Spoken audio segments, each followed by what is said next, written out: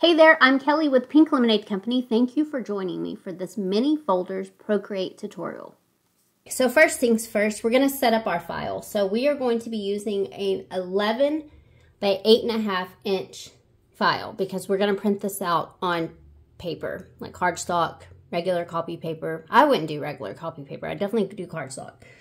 But first, first things first, we got to set up our Procreate file. So we're going to go to this little plus right here. You can scroll down you can see that there's the paper.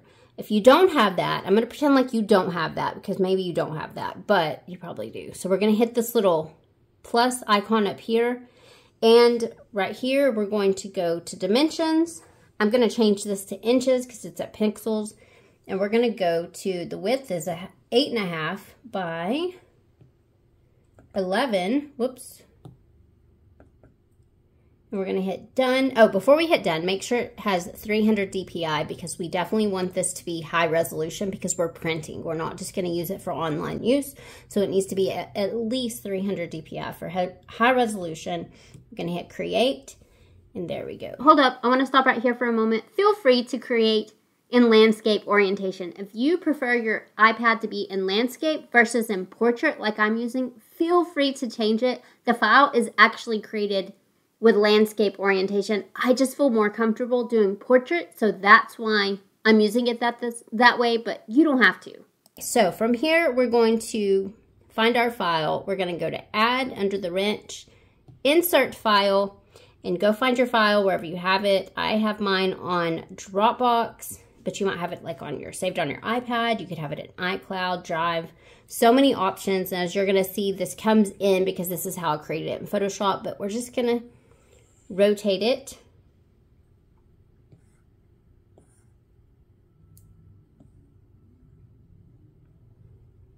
Okay, that looks good.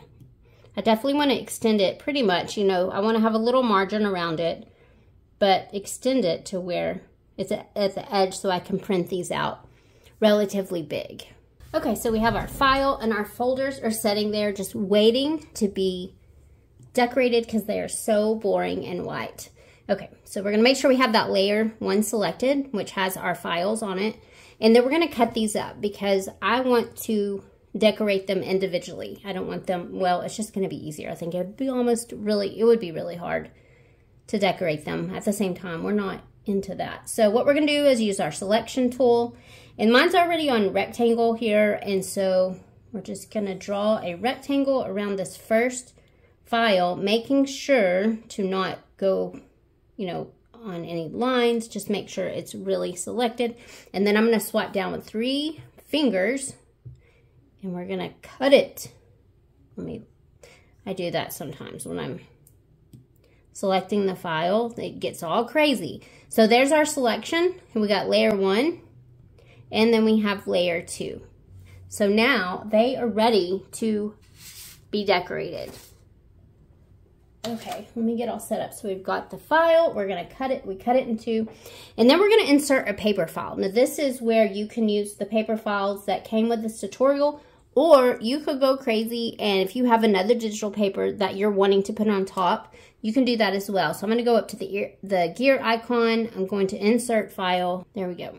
All right, now as you can see, the we inserted it. It was in between these because I wasn't on that top layer. I was on layer one and that is no problem. We're just gonna drag that above. And then what I'm gonna do from here is I just want to remind you because we're going to keep adding files. And if you are more organized than I am, you could at this point like rename your files. So if you wanted to re, you know, rename this like um, folder one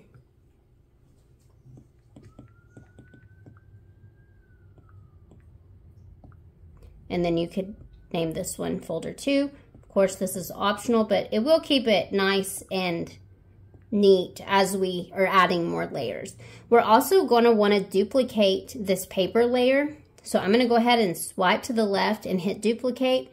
And then I'm going to drag this down here. So there's going to be papers on each folder.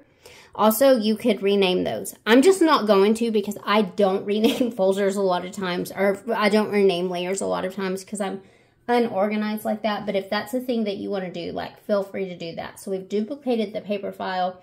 And then we are just going to put clipping masks on each of those. So I'm going to go, I'm going to turn this one off just for the sake of being able to see what I'm doing. But with this bottom paper that is over folder two, we're going to click it and hit clipping mask. And so look, it's already looking more like a file folder because that paper is kind of colored like a file folder. Okay, then we're going to go up to the top paper. We're going to turn these layers back on and we're going to do the same thing. Hit it and clipping mask. That is awesome. Now at this point, you could go ahead and merge down. That way it's, you know, like adhered, it's pasted on to your folder.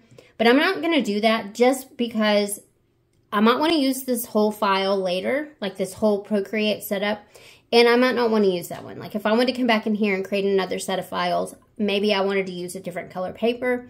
You know, there's all kinds of reasons why I might want to keep everything intact this way. But again, that's personal choice. Okay, so we have our clipping mask above each folder. And this is another reason I just thought about this of why you wouldn't want to go ahead and merge them down because what we're going to do is we're going to turn the opacity down on each of these folder papers because I want to be able to see that fold line right there. So I'll know kind of, you know, I don't want to decorate each side the same. And this is going to give me a, a little guideline of like where I need to put my designs. So I'm going to do the same thing over here. And then let's go ahead and we're going to go ahead and, mm, what are we going to do? I'm going to do this folder down here. So this folder number two is our bottom layer, and I'm just going to hit the plus sign because I'm going to add a layer above that. Now, I'm going to go over here and choose this pink.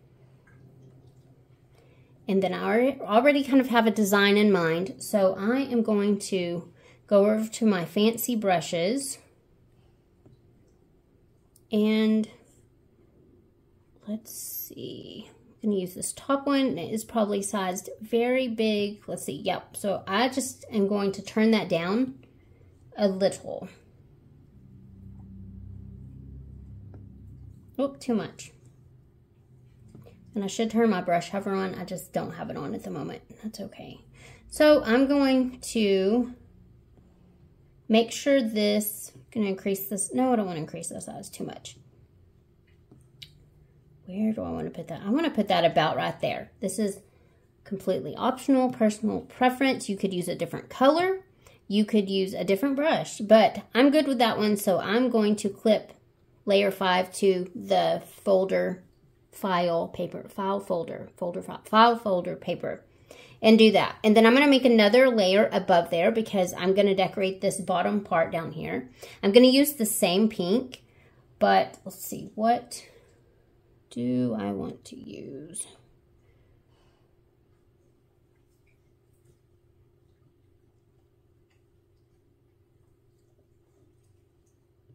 I'm going to go with this one. Okay, yeah, I like that. So I'm going to turn it down just a little bit.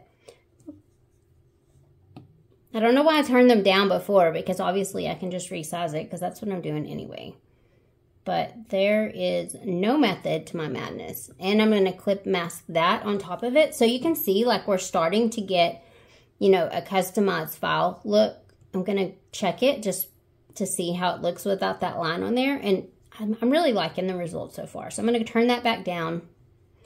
And then I want to add another layer because I'm going to add two little, I'm going to say embellishments. So I'm going to choose this turquoisey tealish color and then I'm going to go over to my PLC border brushes and I want to use this like the Stamp Botanical brush. And that's just going to go along the this side, this, it's not the bottom, but what, the right side. And we're going to use that. So let's see how that looks. I'm kind of liking that. So as you can see, some of the, sometimes with the border brush or a brush like that, like that worked. But it'll, it, depending on the angle of your pencil, it could be weird. So I'm going to show you. If you just hold that down, it's going to straighten that, that border brush up. Actually, that's not exactly symmetrical or it's not um, even. There we go.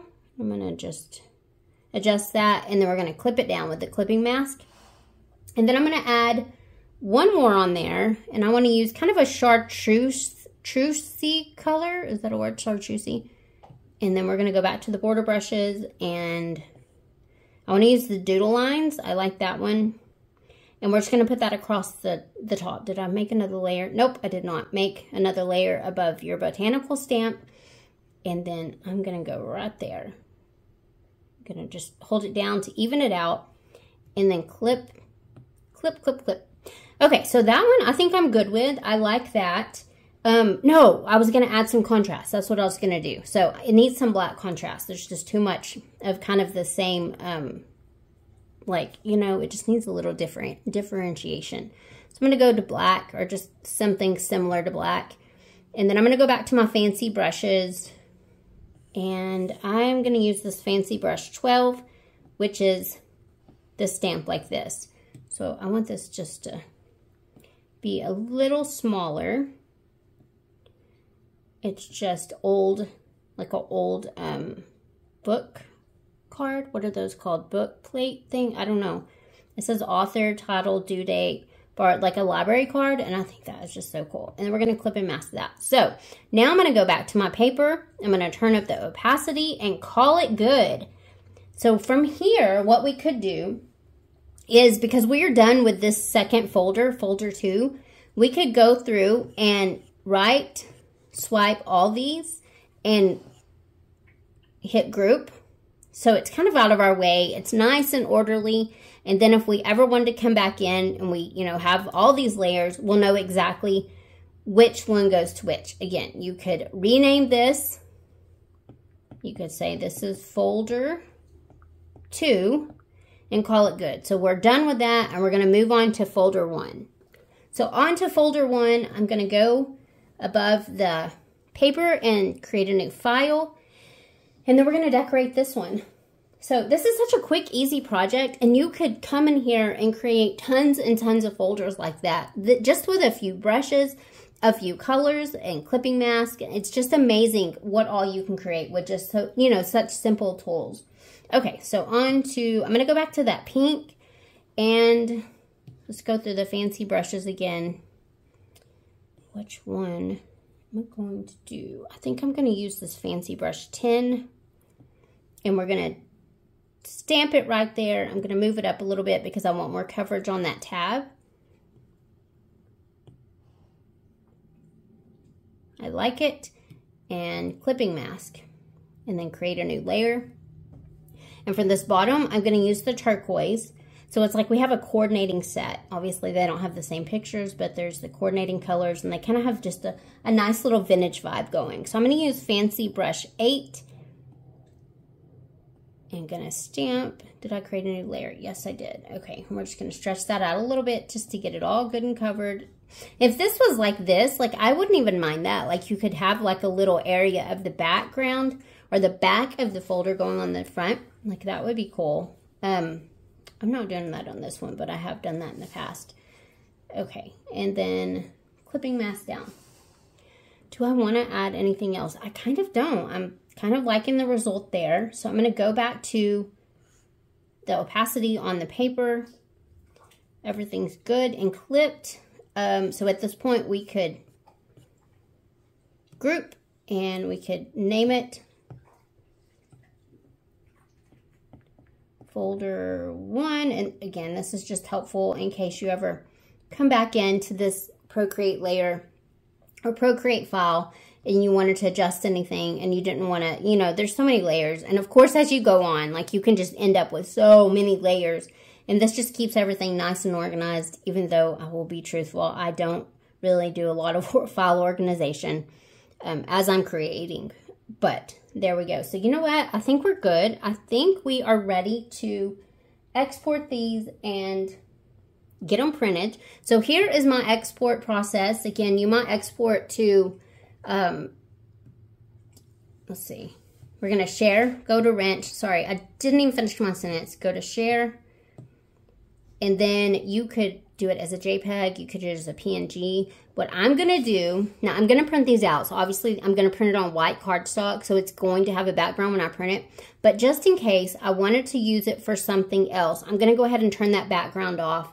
And then I'm going to share it as a PNG. Now, here's my process. This is where I send it over to Dropbox and I can name it something. But you might, you know, you might, I'm going to send it to Dropbox. Gosh, I should really finish my, finish my sentences. I apologize. I will try to be better about that. I am going to send this to my computer and I have a PC and this is an iPad and I don't have a Mac or I could airdrop it, but I use PC. And so I'm going to use Go uh, Dropbox as my go-between. That's my bridge. So I'm going to say, I'm just going to name it file folder, folder file three. It should be file folder. Why is that so hard? I'm going to do that because I think I already have like a two in there. So now what I can do is we're going to move over to my PC, but at this point, however you print stuff out from Procreate, that's where you would do that. So if you don't have this extra step where you transfer it over to your PC, and the reason I do that is I'm a little bit anal about, like I know this file is set up perfectly well, but I like to pull it up into Photoshop just to make sure I can give it a good once over. That's kind of just like a obsessive thing of mine and you definitely do not need to do that but that's what I'm gonna do next. So I'll meet you over at my computer. Okay so I have the uh, file that I sent from Procreate through Dropbox over to my PC and I have it in Photoshop right here and you can see it's a transparent PNG and so that I just like to do that just in case because what if there's something I want to do with this folder or this file digitally I don't with this one necessarily right now, but who knows? In a month from now, I might decide to do that. So I do like to do transparent backgrounds. Um, now on this one, I could print it out as a PNG. I mean, the squares are not going to show, but I'm going to go ahead and put a white background on this. Again, please, whoops, that was my pattern. Um, please understand, like this step is really not necessarily. It's just I create a lot of graphics and I use a lot of you know, the go between between Procreate and Photoshop. And so it's almost just a like once over for me just to make sure everything's good. I'm going to check the image size and, you know, we're still at 8.5 by 11, 300 DPI. And then I can go and print it out from here. So this is great too. I think it's also, it's helpful for me if I can pull it up on a screen like this because if I needed to zoom in and just I mean, with this file folder, it's not really a thing, but like if I wanted to make sure they're good crisp edges, like when I'm creating graphics for PLC Insiders or something, you know, something like that. And so I can just pull this up, make sure that everything looks really good. Just checking everything. I love the patterns going on here. Again, that library card is just so cool. I think this is going to be such a fun little project. Um, I have no idea really what I'm going to do with the file folders at this point, but I've made these in the past and they always end up being something fun. Okay, so let's print this out.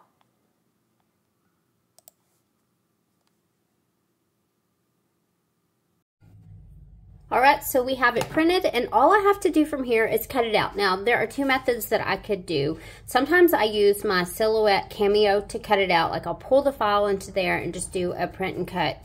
But I think I'm just gonna use scissors. Now, because the tabs and the edges are rounded, I have this punch that I use for rounded paper or rounded corners which I love. And I can leave the link for that if you're interested in that. I use it a lot, especially like in my journal pages.